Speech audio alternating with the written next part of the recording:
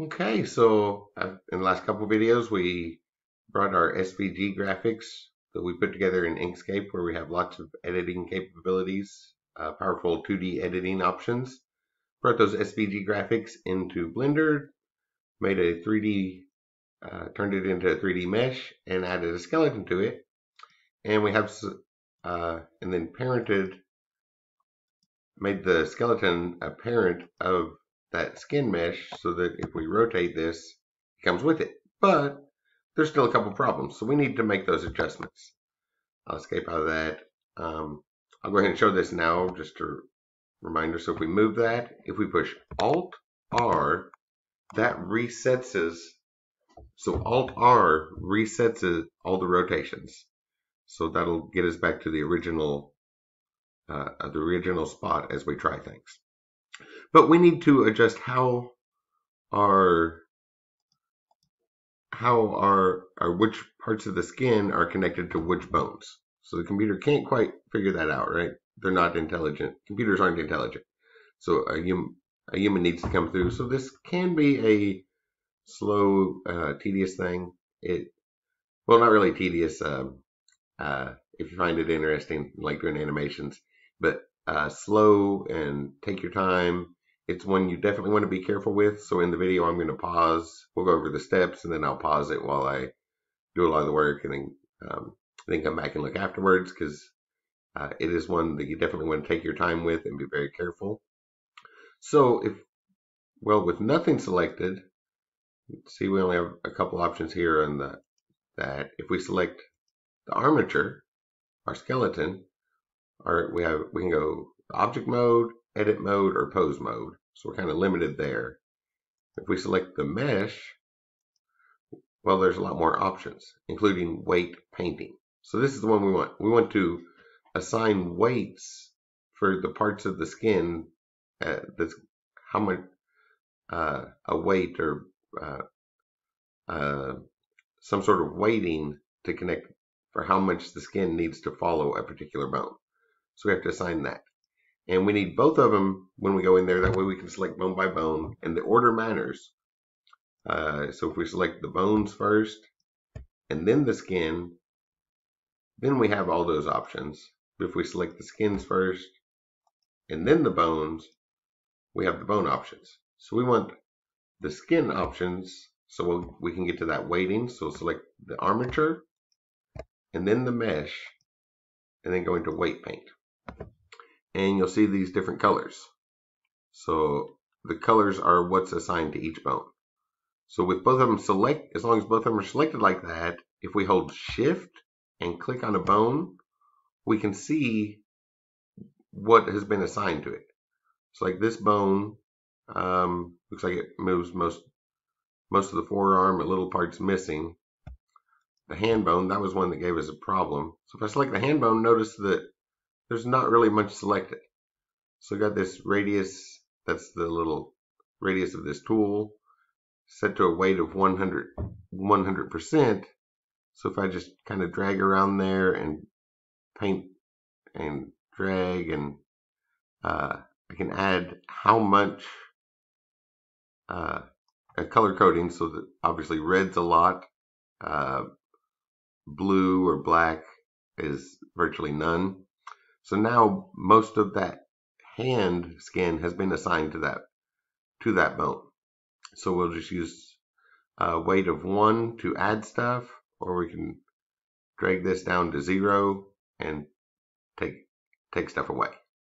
And we want to make each bone look like that. Just carefully assign what valid what part of the mesh is assigned to that bone. So now if we go back over to uh, object mode, select our armature and go to pose mode, and if we select this bone and rotate it, now when we move our hand, that proper amount of skin comes with it. So we need to go through and do that for every single one. So select the, um, so in object mode, we want the skin tools. So select skin, then bones. Did I do that backwards? Oh, the other way. Select bones, then skin and go to weight paint and hold shift to select a particular bone. So this looks like it's got mostly the forearm stuff. A little bit seems missing there, uh, but I think it'll drag with it. And then we'll just check each bone individually like that. So shift and click the forearm. It looks like uh, that looks pretty good. Uh, bring this in here, maybe decrease this radius just a little. Bring the weight up. Might be able to add a little bit of weight right there. Make sure that whole arm comes with it. And just carefully go through and make sure every bone applies to the right thing. So if I flip over to the other side, upside down, but just like the forearm, so that looks good for the forearm. Uh, or the upper arm, then the forearm. That'll be okay. The hand, oh, there's not much coming with that hand. So I want to just drag around with the weight fully up to paint the part of the skin that I want to follow that hand bone. And might not necessarily need this, so to take it away, drag that down to a weight of zero and repaint that to remove those sections. And then along the way, uh, after you make a couple changes, come back to object mode, select the armature so you can go in pose mode, and then try bending a bone or moving it back and forth and making sure the right part of the skin moves with each movement that you make. So the upper left arm seems to move the left arm okay. Uh, the right arm, rot R to rotate. That'll work. Uh, forearm, and basically just check each one to make sure it works, and then remember to push Alt R to reset that. So I'm going to go through and do all these bones uh, one at a time. I'll just pause the video while I do that.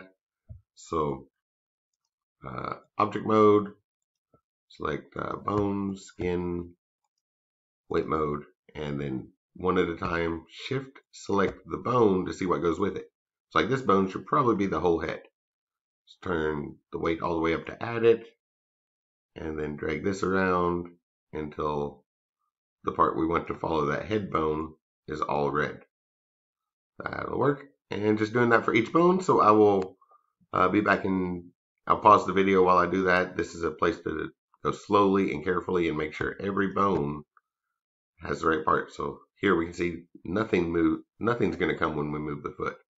And just get all that set up here. Take your time and be careful with it. Okay, so I just went through there and just one bone at a time so if I select the head bone, we can see that much, that's the skin that's going to warp with the head bone. So uh, then, and then we can tell from the color coding that it's going to get less down the neck. On the neck bone, just the neck move is going to stretch. Uh, the backbone, I didn't really adjust much, just a little bit there. Uh, coming down the legs, we have the upper legs.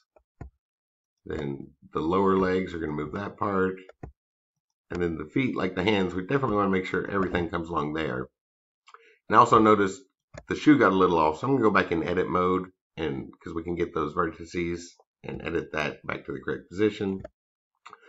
Uh, then I guess the arms, the arm on the other side is right about the same. So uh, mostly upper arm for that bone, all the stuff in the middle for that bone, and then just real hand heavy on that bone and the other arm is roughly the same. Can't really see the upper arm from here. I guess I can flip it over and see it's all upper arm.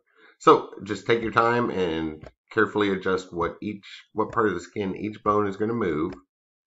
And I noticed this little shoe thing, so I'm going to go back to object mode, select the skin, go in edit mode, and kind of fix those vertices. So if I go to the move tool, I can drag that in forward a little so that it's not uh, the weird shape there again. All right, so that assigned all the weights, and now we should be ready to do some animations. I'm going to save that. So if we select the armature, so we can go in pose mode. Uh, so you'll want to do this before starting on the animations, just start grabbing the bones, hit R, and make sure they move like you want them to. Then escape from that rotation or if you, after moving it, you can push Alt R to reset the rotations. And just kind of mess around with it a little and try to pick some positions that you're going to move the character character to for the animations and that way it'll go a lot quicker when we get over and start making the animations. Whoa, why is the leg doing that on the neck? Um, so back to object mode and yeah, and to check for things like that. Uh, so select bones, then skin, then weight paint, and which one was that? I think it was this one.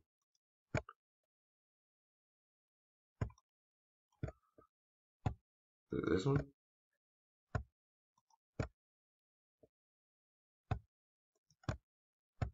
Something in the leg there moved all this up here. So I'm going to set the weight to zero and make sure there's nothing selected. I don't see anything. But uh, that was kind of weird. And you'll just want to do a lot of tests like that and take your time and carefully get it set up. Make sure everything moves correctly and kind of pick some positions along the way. Uh, yeah, I've still got a little bit of cleanup and just make sure the right skin moves with the right bone. And then we'll be back in the next video to set up the animations. See you then. And yeah, while testing all this, uh, try to pick some positions that you think will work good for the animations.